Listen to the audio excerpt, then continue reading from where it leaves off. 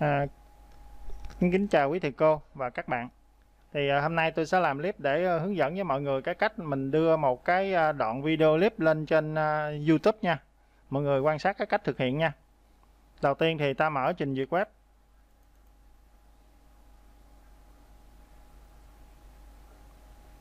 Sau đó ta đăng nhập vào tài khoản Gmail của mình. Sau khi đăng nhập vào tài khoản Gmail xong thì uh, chúng ta vào chỗ kho ứng dụng và ta chọn một là YouTube.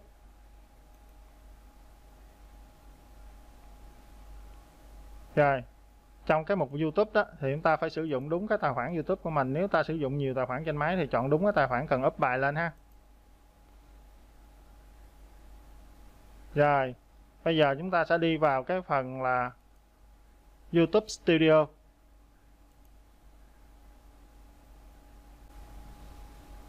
Thì à, trong nội dung này nó sẽ có những bài chúng ta ta bấm tạo ha. Ở bên đây ta bấm tạo. Tải video lên. Sau đó ta chọn tệp cần đưa lên. Và ta tìm đến cái nơi chứa tệp mà ta cần up lên mạng. Ví dụ như tôi để ngoài desktop. Thì để up lên mạng đó, các bạn cần chuẩn bị là một cái à, đoạn video và một cái hình thu nhỏ nói về cái nội dung của cái đoạn video này còn nếu không thì mặc định cũng được ha nhưng mà tại tôi thích để một cái hình đại diện cho nó đẹp. Đầu tiên ta chọn cái đoạn video của chúng ta.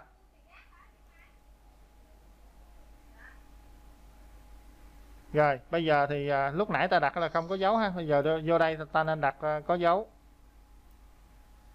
Ví dụ như là bài 1 đó rồi. À.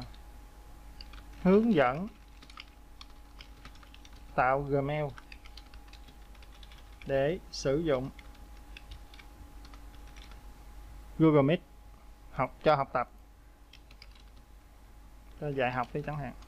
À, cho học online đi. Rồi sau đây ta mới ờ, ghi cái phần giới thiệu mô tả về đoạn clip. Thì mình nói là à, đây là video clip hay là đây là bài giảng gì đó tùy thì cô đặt ha.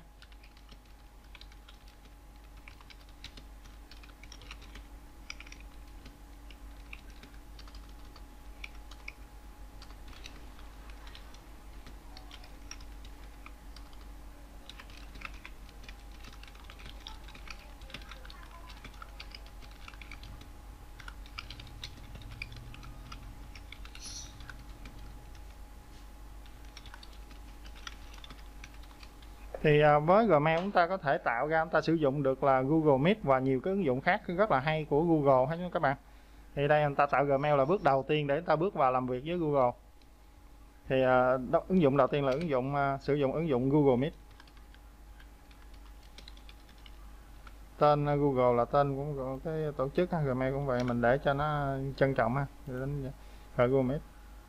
Rồi ví dụ như vậy đây là cái phần mô tả và sau đó đến cái đoạn video thì à, chúng ta bấm à, tiếp theo.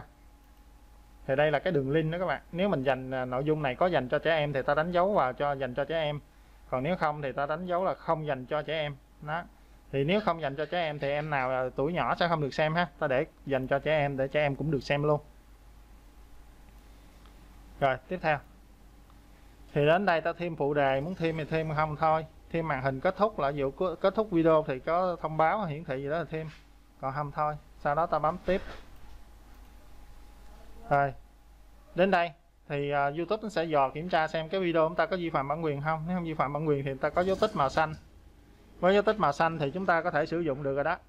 Tiếp. Rồi đến đây là công khai hay riêng tư. Thì ví dụ riêng tư thì chỉ chúng ta xem được còn uh, công khai Ờ, không công khai thì những ai có liên kết mình chia sẻ người đó coi được, còn không thôi. Còn bấm công khai thì tất cả mọi người trên cộng đồng mạng đều xem được hết. Rồi, nếu mình muốn đặt lịch công chiếu là để cho hôm hôm khác người ta xem, hoặc là đặt lịch công chiếu đến giờ nào đó phát thì ta đánh dấu vào đây. Còn không thôi. Hoặc là ta lên lịch, ha, thì lên lịch, ví dụ như mấy giờ nó nó sẽ phát đoạn clip này thì ta lên lịch, ta để đó, đúng giờ nó sẽ phát công chiếu. Ok, đúng cái giờ đó, ha, giờ tôi không có lên lịch, tôi để bình thường thôi. Tôi bỏ chức năng này đi ha rồi. Lưu hoặc xuất bản, ta chọn công khai gì thôi, không cần lên lịch. Rồi. Rồi, đến đây thì ta có thể là sao chép cái đường link này nè. Đó, rồi ta sẽ ờ, sao lưu ở cho- lên trên trình duyệt chẳng hạn. Rồi ta để lên đó thì đặng ờ, nữa ta chia sẻ cho mọi người đó. Còn không thì ta cứ để bình thường ha. Rồi ta bấm xuất bản. Rồi, đây là cái đường link ha, để mình chia sẻ nè. Mình muốn chia sẻ trên những cái nền tảng mạng xã hội nào thì mình sẽ click vào đó. Đó. Đây là những cái nền tảng để mình chia sẻ. Còn không thì thôi, mình cứ để bình thường mình bấm đóng. Rồi, quá trình xuất bản sẽ diễn ra. Đó. rồi, bây giờ để quay lại cái chỗ nãy mình giải thích cái chỗ cái hình thu nhỏ ha. Mình vô, ví dụ mình cần chỉnh sửa, mình sẽ vào chi tiết. Thì khi mình gửi lên đó, thì cái chỗ cái bước này nè, sau khi clip up lên xong đó, nếu mà mình không đưa cái hình thu nhỏ vô đó thì à, cái chỗ đoạn clip nó sẽ như thế này. Bây giờ đưa một cái hình thu nhỏ cho nó đẹp. Thì mình bấm hình thu nhỏ và mình tải cái đoạn hình nãy mình chuẩn bị đó đưa lên. Rồi như vậy thì trước khi xem nội dung người ta sẽ xem được cái hình này. Đó. Lưu. Rồi như vậy là mọi người sẽ ờ, xem được cái đoạn clip mà chúng ta đã ờ, gửi lên hoặc là học sinh ờ, xem được cái bài giảng của chúng ta đã gửi lên YouTube rồi, chúc quý à, thầy cô và các bạn có thể đưa một à, video clip lên mạng thành công. Xin chào tạm biệt mọi người.